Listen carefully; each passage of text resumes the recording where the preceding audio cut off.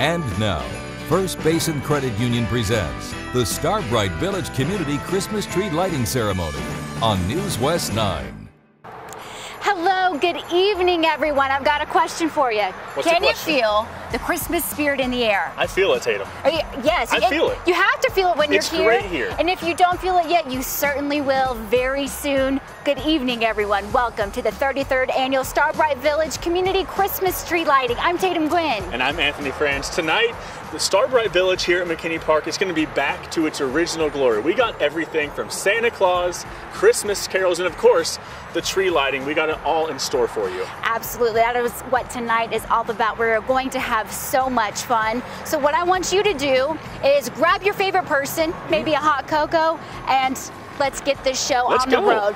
And a few things that we want you to know before we get into tonight we have taken all appropriate safety measures to ensure that we are safe and our guests are safe. So, you will see us socially distanced throughout the night and also wearing a mask at request of our guests.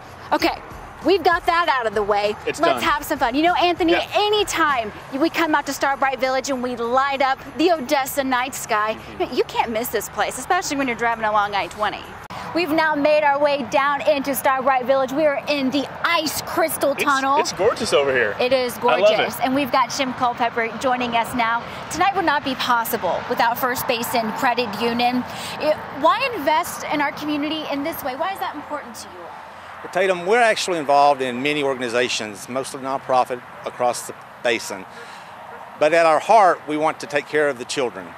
And this is really designed, even though we get a lot of adults that visit the park, this is all about the children. And we know that um, if we can support something that is geared towards families, it'll just bring, it'll brighten up ev- everybody's face. And it couldn't come soon enough, especially this Right. year. Yeah, and we all need that bright spot this year. As Tatum just said, 2020, it's been a crazy year, and Starbright Village is certainly that bright spot in more ways than just one. So, what does this efforts behind this event say uh, about the community? Well, it certainly gives some credence to the stability of the community and the strength of the community and the not give up attitude of the community. And so I can tell you, First Basin's been involved in this. This is our fourth year, and it's so gratifying to see every year it gets bigger and bigger and better. And we're certainly not going to let a pandemic stop that from happening this I year. I know that's Love that. right. I know that's right. You know, something that we mentioned when we were at the new facility earlier uh, was the community room, and I think that is so unique, especially for something to find inside of a bank. Tell us real quick about that. Okay, well, so again, First Basin is involved in many different organizations, and we really like to support the nonprofits. And I hear, I'm, and I serve on the board of some nonprofits, and one of the biggest challenges that nonprofits have is finding a meeting facility large enough and centrally located enough to accommodate their needs. And so we're very excited to provide that in our new building. We will have a 3,600 square foot community room, and we will provide that to the non- nonprofits in the community. Well, that is just so wonderful, and we are so thankful for First Basin Credit Union to help put this on. I know we need. We're going to say that a lot. That's a theme Right. tonight. We need this now more than ever. Thank you so much. Thank you, and it's a privilege for First Basin to be involved, and we hope it continues. Starbright Village is a tradition that has continued to grow for over three decades. And this is my favorite part. The city of Odessa, they challenge themselves every year to make it bigger, better, of course, brighter than the year before. Yeah, and that is no small feat considering there's over 80 displays here at the village. And Crystal Cruz, she's going to take a walk through the memory lane to the early days of Starbright Village. There's just something about Christmas lights. It can take you back to your childhood when magic was real and life a whole lot less complicated. But Odessa's Christmas tree lighting didn't start off with thousands of these sparkling lights. A huge Christmas tree once stood in this parking lot at Odessa City Hall. A 50 foot tall solid steel pole, its stem is still buried here. 1988, Odessa built the first Christmas tree. And what I mean, when we built the Christmas tree, we literally built a Christmas tree. They drove all the way to Ruidoso just to get the limbs, working with the National Forest Service, who picked out limbs on trees that needed to be cut. We would limb their trees up, use the limbs, size the limbs in the field, put those on a big flatbed trailer, and truck those all the way back to Odessa and build a Christmas tree. Those were real limbs that we had on that tree. When the celebration grew, it moved here to McKinney Park in the early 90s with a walking trail and its very first display. And we put our first display was Old Man Winter, and then we had our large Christmas tree in the background. A few years later, Starbright Village was born, the brainchild of Odessa Parks and Rec director Steve Patton. Knew that we could create something, especially next to the interstate, that would be unique in Odessa and make it a destination tourism place. He actually sketches the designs for the display, like this new crystal tunnel. Patton's background in landscape architecture helps him make the magic happen. One of his most popular attractions he designed, these huge poinsettias. The biggest one is 14 feet wide. I'll ask, I'll be visiting people at Starbright Village and I'll say, you know, our new display that particular year, I said, there's Santa and his reindeer next to the Christmas tree. And I said, isn't that gorgeous? You know, that it's huge. And I'm all fired up about that. And they're like, love it, great. But I like the poinsettias better. People can now drive through the Winter Wonderland. Every year, a new display is added. And the bigger, the better, like this more than 60 foot tall Santa sleigh and reindeer. But making sure they're in the right spot takes some high technology. They actually use GPS, and powering thousands of these brilliant lights didn't come without a few hiccups. We kept putting big displays, big displays, big displays out there, and the electrician said, We're out of electricity. I never did think I'd use all the electricity out there. Then they invented LED bulbs. LED bulbs, we switched out every single light bulb out there. We went from incandescent to LED bulbs. We use fourth of the power. Patton says the biggest joy in creating this is seeing a child's eyes light up as bright as these displays. It's Seeing their faces and, the, and how much they enjoy something that my hand has drawn and created, the Parks Department fabricated, we provided that, and it's an uplifting moment for those people's lives. And that, that's, what's, that's my true inspiration from my heart. And what are the holidays without a jingle or two? Jingle bell, jingle, bell, jingle bell. Are we not talking about no, us? No, no, no, no, no. Let's head out to Crystal Cruz and Victor Lopez. Thanks a lot, guys. You know, it's not the Christmas season until you hear that very first Christmas song either on the radio or if you play it at home on your Alexa system. Well, you know, Victor, it is really the best way to get into the holiday mm-hmm. spirit, especially to lift your spirits. Oh, yeah. And tonight we have a very special treat for you. The Bronco Legacy Choir is going to be singing their rendition of Jingle Barrels. Here they are.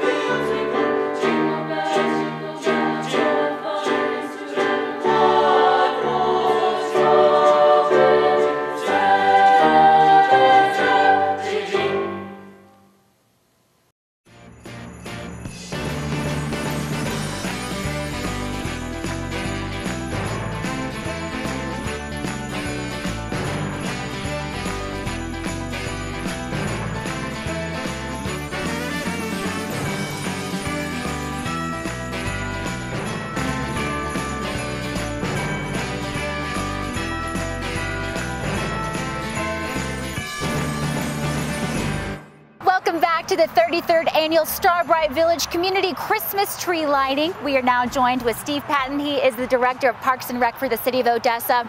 But in other words, and more importantly, the mastermind. He does it all. Oh, he really he does. does. But especially for Starbright Village. I mean, you are the brains of the operation. That's correct. Well, and something that I don't think people really realize is all of the work that goes into uh, putting up this display. It's not just one of those things like, oh, you know, I think this would look good over there. There's a lot that goes into it. Talk about that. We really start a lot of planning as early as July. Actually, I'm already looking at designs for next year. We look at the spatial arrangement, the GPS that we have that we lay out everything by, and, and of course budget. We look at the budgets, and most importantly, the support of the city council, the mayor, and our sponsors. We take all of that, put it ideal wise, and I start thinking about things, and this is our new feature for this year, and it's called the Crystal Tunnel. And this was inspired from the opening of the Superman movie. So you saw that and you were like, I That want, would be I a want to make great that tunnel. Also for this year, we needed more for people to drive through, and we were emphasizing that this year. And I thought it's something as grandiose as a crystal tunnel. When you look at something as big as this and you drive through, the experience will be great. Yeah, and cool. we need the inspiration for this year. And ain't that the truth? That is the truth. And thousands of people from all over West Texas, really, not just Midland and Odessa, Out of come here. state, Out of state. They come here to see this display because there's so many different displays and so many lights uh, across this. What do you want to say to those people that are the loyal people that always come year after year? It has become a tradition for families, and we also, everybody from our surrounding communities comes to Odessa. They will come and visit Starbright Village. Um, I've talked to people from Alaska going from one side of the country to the next, and they see the displays that come off the interstate and they come into Odessa. But this year is most importantly, we are going to make accommodations for people to walk, and we have the trail for everybody to walk. We're widening the walk to 12 feet, so if people choose to walk, we are asking that they do wear a mask and social distance. That's very important. We do prefer for people to drive. The experience of the Crystal Tunnel would be much more in a drive-through, and we prefer that everybody would hopefully drive through more than the walk because it will be in the grass and you're going to get a little bit of dirt on you. But we can accommodate a widening of the walkway as well as a drive-through. So we prefer, hopefully people will drive through. It is free. We do take donations, but we do have the walk-through if people would like to walk. People can stay in their car, had the heater going, because it's going to be cold some of these nights too. Absolutely. Yeah, sure. It will be cold. We do open December the 3rd. That will be our first night, and then we will close January the 1st. Okay, okay. very good. Well, Steve, we Sweet. just love this tradition and we are so thankful for it. Uh, any final words for, for everyone at home that's watching and maybe trying to load up in the car, they're ready to come see this? I do hope everybody does take advantage. We put a lot of work into this, and uh, it is a passion for the entire department. We, we put a lot of work into this. It is the most beautiful display this year that I've ever seen. It is spectacular. The things that we've collected over the last 33 years and put together to make a showplace for everyone to enjoy and to come and visit this holiday season. A little bit of normalcy in a year that's not And, normal. we, and this is certainly some stability Right. for us. There's over 80 displays, over 300,000 lights, everything set up with a GPS coordinate. I mean, you need to come and see the handiwork. Steve, great job every Thank you so much. Thank you. Well, it's no secret. This drive-through light display, it's a Christmas time staple in Odessa. In the Starbright Village in 1988, that's when it started. It's something that has always brought joy to this community. Absolutely, and something that you may not know, we mentioned it with Steve a moment ago, is that they always try to add a new display every year. We are standing in front Right, of this the is the new, new one. display. Yes, Victor Lopez is going to give you an exclusive walkthrough, an exclusive look at the Crystal Tunnel. Victor? It's the biggest light show between Dallas and El Paso. This is what people are used to seeing when they visit Starbright Village, but this year, there's something new. Ice Crystal Arch. The Ice Crystal Arch is the brainchild of Parks and Recreation Director Steve Patton. If it has a familiar look to it, there's a reason for it. He said he was watching Superman. He's gonna kill me for that, but Fortress of Solitude, Dude, exactly. exactly. Randall Anderson is the park's operations supervisor. We caught up with his crew as they were putting this bad boy up. Uh, it'll take us probably about 10 hours to get it fully set up. Probably has around 100,000 lights on it. Um, each crystal comes in different sizes from 33 feet to 4 feet, so they're all over to give us that depth and dimension that you're looking for when you're driving through something, a 3D look. 100,000 lights. Whoa, that's a lot. But hey, you've seen the rest of the park, so that's just a cube in the ice bucket. But the trick is turning these individual pieces into the boss's vision. Each of those little square platforms has the ability to angle itself so instead of those crystals being straight up and down, we'll put them at angles and make them, give them a more natural look as they're sitting there. Kind of like ice shards coming out of the ground or something. Exactly. Randall says they try to add something new every year, something more to give the park that wow factor. It's also something they plan to keep doing in the coming years. As with everything this year, though, COVID will affect how the village runs. But in the end, it's all about bringing a little happy into people's lives. It's been uh, from the very first day that I've done this till today until December 3rd when we open. It's the look on the kids' face when they come through here, especially at this time of year. A lot of things going on with COVID. People are locked up in their houses. They can't get out. And if we can give them something to come and get a little more joy in their life, that's what it is for me. A lot of us are anxious to come out and visit Starbright Village this year, but I know one person who is especially excited about the Ice Crystal Arch. I'm just ready to see it lit up. The sights and sounds of Starbright Village would not be possible without our sponsor, First Basin Credit Union. They gave us a tour of their brand new facility. Let's take a peek. Okay, Jim, we are in the new space for First Basin Credit Union. Talk to me about this area. Construction's not done yet. Correct. Well, let me back up a little bit. This has been in the planning stage for over four years. So what you're seeing now is the, the end game. You're in the home stretch. Right. And so about four years ago, we identified our long-term needs, and it involved a much larger complex so we could house all of our employees. At this time, we actually have employees, management employees, spread over about three different facilities because we don't have a facility large enough to house everybody under one roof. That's really great. And so we went into the phase where we were trying to select the best location, and with Midland and Odessa trying to grow together, and then with us having branches in Andrews as well as Lubbock, we felt that this would be a very central location and so, uh, and it is a growing part of the community. Mm -hmm. If anyone has been here for any time, you would know that this has gone from pasture land to a thriving area. What's, what's one thing you're most excited about? Well, I have to be honest, the most exciting thing is the fact that my management team is all going to be in one Under building. one roof. so that's, when that's I, important. Right. So when I need something, I can just walk down the hall and get it. now I have to make appointments or call and leave. You know, right. you know how you know how the phone tag system goes, or even email. So that's really exciting to me. But beyond that, beyond from a selfish standpoint, I just feel that this facility and the location will be able to provide so much more service to so many more people than we ever could before. And the fact of the matter is that you can get a checking account anywhere, any, any bank, or a loan for that matter. But our personal service, we believe, is superior, and with the high profile location, we'll be able to provide those services to more and more people. We do not have a hard opening date. Okay. We're looking at February. All right. So that's about as close as we can get at this Keep point. fingers crossed. Right, exactly. If we learned anything this year, we, we pivot and we be flexible. Exactly. So that's our hope. Well, we are so excited for y'all.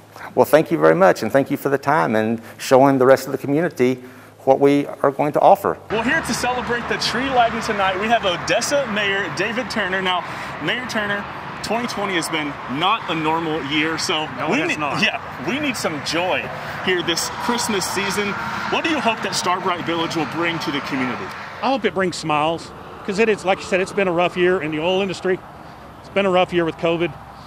We're seeing the light at the end of the tunnel for COVID. We're going to get past it. People need to smile. They need to be with their families and just have a little stress taken off of them. And that's what we hope. Absolutely. We Absolutely. need a little bit of normalcy. And you know, Star Starbright Village, it is such a, a, a wonderful tradition. And so it is needed now more than ever. Mean, we know that the holidays, it's going to look different this year. I mean, we're, we're doing this in masks. It exactly. looks different. You know, what, are, what is your message to people as we find a way to find some joy and celebrate this holiday season? Well, remember what Christmas is all about. It's not about Santa Claus. It's not about the the uh, presents or anything. It's about a baby that was born 2,000 years ago. And in Psalms it says, Be patient and know that I am God. He's with us. We're going to get through this. It's just going to be a little bit different this year, but hopefully next year everything will be back to normal. Oh, that's what Hopefully. we're certainly Mhm. hoping for. Gotta have hope. Yeah. So, Mayor, you have been part of this celebration for many years. This is your last in this capacity. Yes, it is. What has been your favorite part about this annual tradition? I love watching the children. Um, for me, it's not about Christmas isn't about me anymore. It's about the kids. I love watching the kids. I love seeing their eyes light up.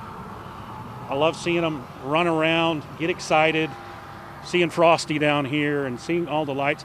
That's what I, you know, brings a lot of joy. Absolutely. It's always, it is just one of my favorite events of the year when all of you at home are usually with us. They should be with us. They should be here. And next year they will be, and we That's get to prayers. see that. 100%. Mayor, we are so thankful for you. Thank you for serving the city of Odessa. Oh, it's been my honor. Well, we love that, and thank you for joining us tonight, making Thank you time so for much. us. Merry Christmas. Well, Merry Christmas Merry to Christmas you to you.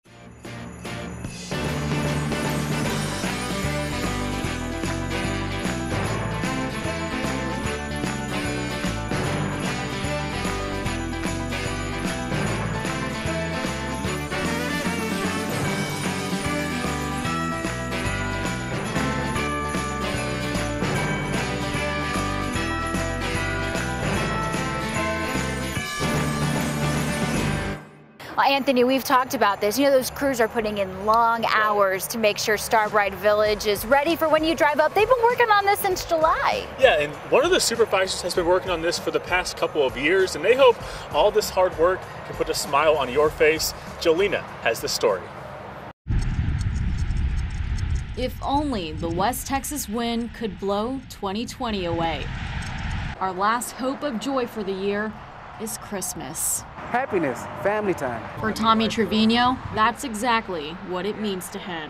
I love, you know, being around with the family, enjoying time with family. That's what it is, just family time. He's hoping to bring that special family time to the community this season.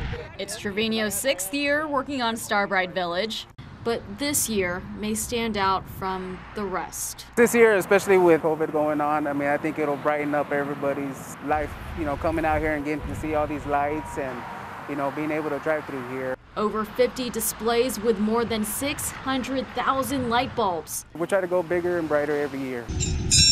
Tommy and his crew are making sure 2020 is ending on a positive and bright note. Always bring smiles to everybody's faces, and that's what we're trying to see. From setting up the displays to starting electrical animation, it takes five crews of around 30 people who work many hours for four weeks. We have a crew come out here, they check out the lights, they make sure that everything's working properly before we open up. It may not look like much now, but when the sun goes down, that's when the lights come alive. My favorite display and the one that I love is going to be the uh, Santa sleigh up, up top by the tree. I mean, I love that one. It's uh, one of the biggest ones we have. When you're going by the highway, I-20, you get to see it, and it brings a lot of people, you know, joy. With a glimmer of hope that the new year is when all is calm, but all is bright. Joy. That's what I want. See everybody come out here and forget about COVID, forget about this past year, start off new.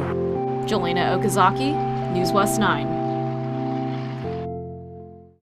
Just so thankful for all of the workers that have helped Yeah. make Starbright Village so special. You can tell all the hard work they put in here. It is gorgeous. and even a little bit of love.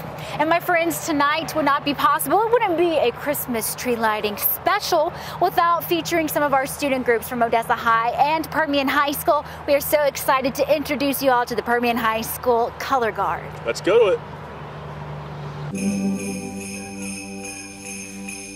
Thank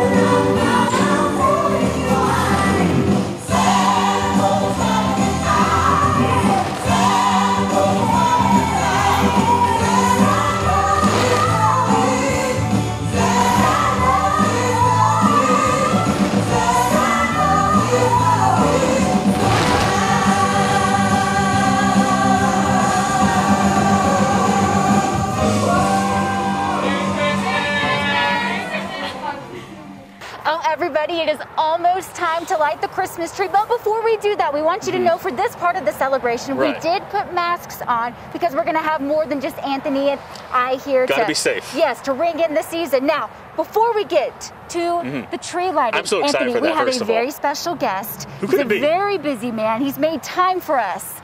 I think he's on his way. I Look think he's right there. It's it's Santa Claus. Tatum, Wow. Anthony. Oh hello, my gosh. boys and girls. Thank you so much for having me. Santa, first of all, I'm a big fan. I'm so glad you're able to come here and celebrate this tree lighting. Oh, of course. I wouldn't miss it. I love to visit my friends here in Odessa. Uh-huh. Yeah. we absolutely love that. And people around here, they may be wondering, is it too late to get on the nice list if they're maybe not sure if they are? We've got I- questions. I know, I know, Anthony. We've been checking it twice, as you know. Good, good. And I will say this it is not too late to get on that nice list. It's never too late to be kind and to treat each others with respect. And so just keep doing those things, and that'll keep you on that nice list. Not too late. Good news for Tatum here. Yeah, not too late. Santa, what's what's your Christmas wish for West Texas this year? Well, I tell you, Tatum, my Christmas wish, as you know, 2020 has been a difficult year for so many, including many in the North Pole. It's been a difficult year. But I tell you, I think that when we reach back and we remember that very first Christmas over 2,000 years ago, when hope was brought into this world, and that hope brought us peace and joy and love that will last through all eternity. And so it's my hope and my prayer and my wish this Christmas that all all over Permian Basin, all over Texas and the whole world will discover that true meaning of Christmas. I just Love love, that. that. That's our wish for them too. I couldn't have said that any better, Santa. That's Thank why you. you. are the man. okay, hey, how about we light that Christmas tree? Will Let's you do it. That sounds it? good. All right, let's bring in our Everyone come friends. in. We've got Mayor Turner Mayor here Turner with right us. here. Okay, we, we have the the countdown. Are you all ready? Let's do it. All right, let's see if we Let's can get that around. countdown going. Let's go. 10, 9, 8, 7, 6, 5, 4, 3, 2, 1. There it oh, is. there it is. Merry Christmas, everyone. Merry Christmas, Merry Christmas, boys and girls. We just love to see that. What a sight to see. Now this marks officially the start Right. of the Christmas season. Yeah, everyone, just to remind you, Starbright Village, it's free to come here. It's going from now until January 1st, and they do take donations just because we've got to keep this village running. And yes, and we want to be back here for 34th year. My friends, that is all the time that we have for you. Thank you so much for joining us for the 33rd annual Starbright Village Community Christmas Tree Lighting. We'll see you next year, and from all of us, Merry Christmas. Merry Christmas.